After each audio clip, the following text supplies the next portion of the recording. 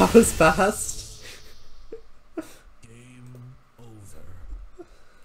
Amir, ah, Amir ah, hebt ja auch einen.